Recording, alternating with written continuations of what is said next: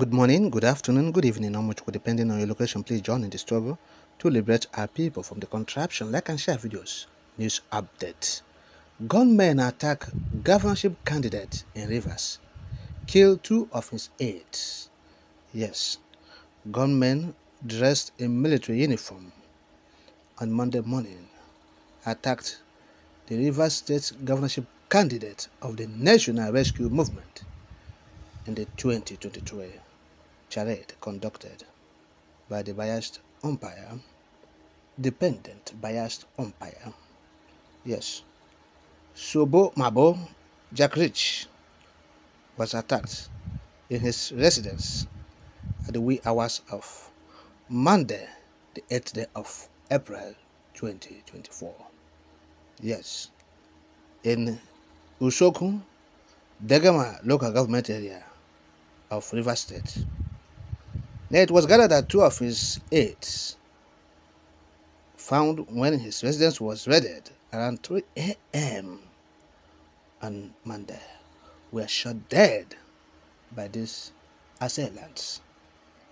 Yes, and their remains were taken along with their principal, Jack Rich. Yes, that is what is happening in River State now. In River State, that's what's happening.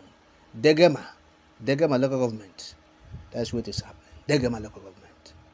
Gunmen dressed in military uniform attacked the residence of the former governorship candidate in River State. They whisked him away, abduction. They abducted him.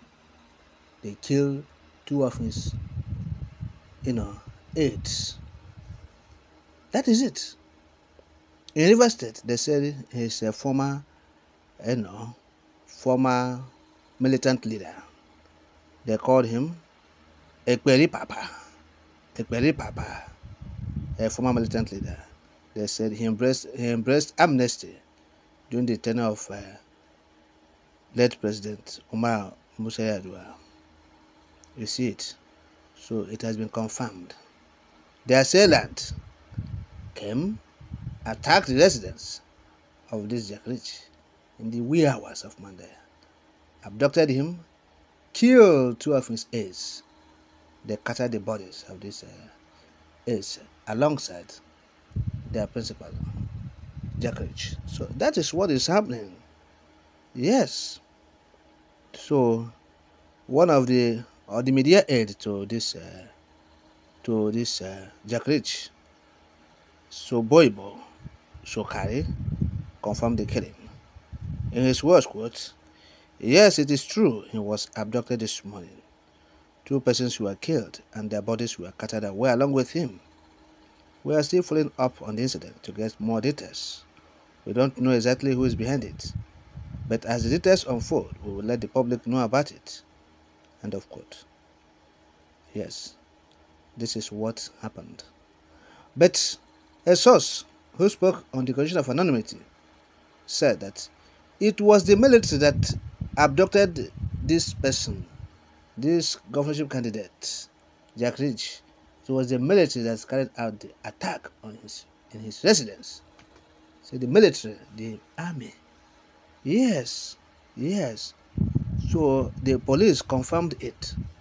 The army attacked the residence of this former governorship candidate. Yes, the army, they killed these two aides. So they carried out the attack. Have seen what is happening. Yes.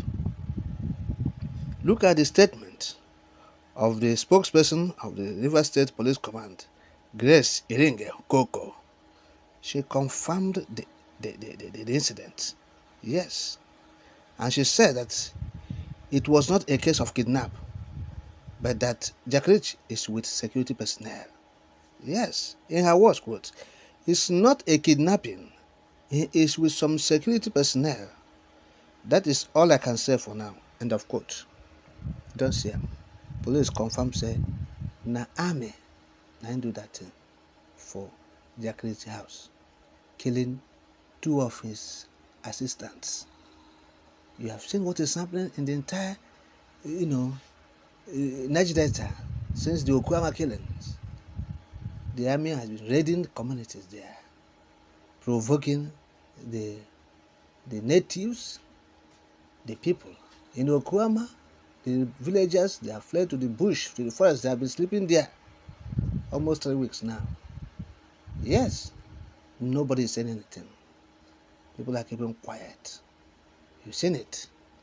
So it seems that these people, nobody is speaking again. They actually the Kuba where is he? Look at what's happening in his town, his communities. Yes. So that is what is happening.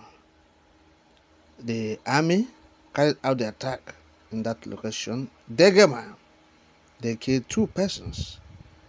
And now the deputy director of the Army Public Relations in that division, they said his name is Colonel Jonah Danjuma, has not been picking his calls. They have been calling him to ascertain what actually happened, but he refused to pick his calls. His calls. But the police has confirmed it. So what else are you calling him for? Police said it is not act of kidnapping. The army carried out the attack. You see him?